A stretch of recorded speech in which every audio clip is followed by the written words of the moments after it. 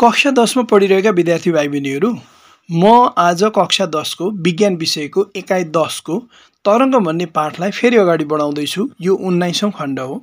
अठारवटा खण्डहरू हामीले अगाडि नै प्रस्तुत गरिसकेका छौँ। यो भाइ बहिनीहरूले प्लेलिस्टमा गएर हेर्न सक्नेछन्। अब आजको फोकस चाहिँ हाम्रो अधुदृष्टि छ। वास्तवमा आँखाको कमजोरी के हो र जसमध्ये अधुदृष्टि चाहिँ के हो भन्ने बारेमा आजको फोकस रहनेछ। त भाइ बहिनीहरू सुरु गरौँ है त। आँखाको कमजोरी भनेकै के हो? भनियो भने हामी के भन्न सक्छौँ भने नि आँखाको कन्भेक्स लेन्सको मोटाइमा आवश्यकता अनुसार परिवर्तन हुन सकेन भने कि त नजिकको वस्तु वा टाढाको वस्तुलाई स्पष्ट देख्न सकिँदैन। यसैलाई आँखाको कमजोरी भनिन्छ। हेर याद गरौँ है पहिले योभन्दा अगाडिको कक्षामा मैले बताइसकेको छु कि नजिकको वस्तु हेर्नुपर्दा स्पष्ट हेर्नुपर्दा आँखाको लेन्सको मोटाइ धेरै हुन्छ। टाढाको वस्तु स्पष्ट हेर्नुपर्दा हाम्रो आँखाको कन्भेक्स लेन्स पातलो हुन्छ। यो आफै हुन्छ यसलाई सिलियरी मसलले मोटो र पातलो बनाउने काममा मद्दत गर्छ। तर नजिकको वस्तु हेर्दा आवश्यकता अनुसारको मोटाइ लिन सकेन कन्भेक्स लेन्सले भने त्यो पनि कमजोरी भयो टाढाको वस्तु हेर्दा पनि आवश्यकता अनुसार पातलो हुन सकेन। आँखाको लेन्स भने त्यो पनि कमजोर भयो कमजोरी भयो। अब यो आँखाको कमजोरी जम्मा दुई प्रकारको हुन्छ। एउटा अधुदृष्टि जसलाई अङ्ग्रेजीमा सर्ट साइटेडनेस वा मायापिया भनिन्छ र अर्को दूरदृष्टि जसलाई लङ साइटेडनेस वा हाइपरमेट्रोपिया भनिन्छ। यो आँखाको कमजोरी हो यो आँखाको रोग होइन नि यो कुरो याद गरौँ। अब अधुदृष्टि भनेको के त?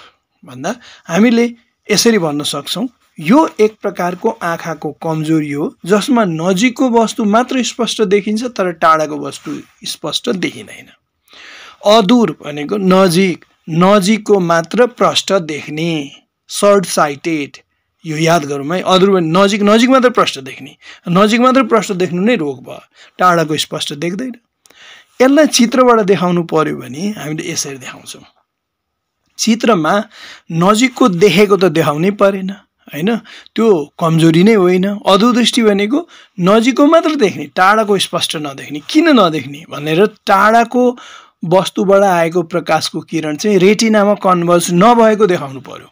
यहाँ मैले दुईवटा प्रकाशको किरण टाढाको वस्तुबाट आएको देखाएँ नि।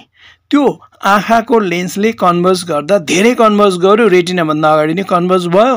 रेटिनामा आकृति बनेन त्योभन्दा अगाडि आकृति बन्यो। यो अधुदृष्टिलाई देखाउने चित्र। अधुदृष्टिलाई चित्रबाट देखाउनु भन्यो भने यही नै चित्र बनाउनु पर्यो होइन? यसमा यसरी लेबल गरेको चाहिँ अलिक बेटर हुन्छ। ल अब अगाडि बढौँ। यसलाई मैले साइड लगाएँ है? साइड लगाएर किन साइड लगाएको भन्दा यसलाई हेर्दै म यसका चाहिँ नि विशेषताहरू बताउँदैछु। पहिलो कुरो यो कमजोरीमा नजिकको वस्तु मात्र स्पष्ट देखिन्छ तर टाढाको वस्तु स्पष्ट देखिँदैन। यो त परिभाषामै आयो होइन? यो भनाइले यो विशेषताले एउटा अर्को कुरा पनि बताइरहेको छ है। नजिकको मात्र स्पष्ट देखिन्छ भन्नुको मतलब के? नजिकको स्पष्ट देख्नको लागि त आँखाको लेन्स बाक्लो हुनुपर्छ। यसको मतलब यो कमजोरीमा आँखाको लेन्स बाक्लो हुन्छ आवश्यकता अनुसार पातलो हुँदैन त्यसैले त टाढाको वस्तु स्पष्ट देखिँदैन। यो पहिलो पोइन्टले दोस्रो पोइन्ट तान्यो। यो कमजोरीमा आँखाको कन्भेक्स लेन्स बाक्लो हुन्छ र केन्द्रीकरण दूरी बाक्लो भइसकेपछि केन्द्रीकरण दूरी छोटो भई सामर्थ्य धेरै हुन्छ। बाक्लो कन्भेक्स लेन्सको फोकल लेन्थ छोटो हुन्छ र यदि फोकल लेन्थ छोटो हुन्छ भने पावर ज्यादा हुन्छ सामर्थ्य धेरै हुन्छ। दोस्रो पोइन्ट यसैले तानेको हो नि त। अब तेस्रो पोइन्ट हेर त यो कमजोरीमा टाढाको वस्तु रेटिनाभन्दा अगाडि नै फोकस हुन्छ। अघि नै भनियो नि नजिकको वस्तु मात्र देखिन्छ तर टाढाको स्पष्ट देखिँदैन भनेर पहिलो पोइन्टले नै तेस्रो पोइन्ट पनि बताउँछ। टाढाको किन देखिँदैन भन्दा यो कमजोरीमा टाढाको वस्तु रेटिनाभन्दा अगाडि नै फोकस हुन्छ र त्यसैले गर्दा देखिँदैन। किनभने रेटिनामा फोकस हुनुपर्छ आकृति रेटिनामा बन्नुपर्छ अनि मात्रै कुनै वस्तु देखिन्छ। अब चौथो पोइन्ट हेरौँ यो कमजोरीमा आँखाको बल अन्डाकार भएर आई बल चाहिँ अन्डाकार हुन्छ होइन? यो भएको कारणले लेन्स र रेटिना बिचको दूरी लामो हुन्छ। हेर यसलाई यसरी बुझौँ न यो बुझ्नको लागि मात्र है? यो लेन्स र रेटिना बिचको दूरी चाहिँ लामो भयो नि यो अन्डाकार भइदियो। नर्मल साइज जुन आई बलको हुनुपर्ने हो त्योभन्दा यो लेन्सदेखि रेटिनासम्मको दूरी लामो हुन पुग्यो नि त्यसले गर्दा आकृति अगाडि नै बन्यो। यहाँ अगाडि नै बनेको देखाइरहेको छ होइन? आकृति रेटिनासम्म पुगेन। यी खास खास विशेषताहरू हुन् अधुदृष्टिका।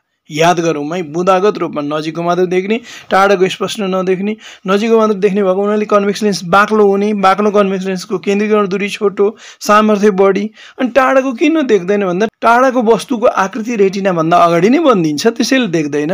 अनि यो कमजोरी हुनुको पछाडि आई बल इलोङ्गेटेड हुन्छ अलिकति लेन्स र रेटिना बिचको दूरी केही लामो हुन्छ। यी खास विशेषताहरू हुन् अधोदृष्टिका।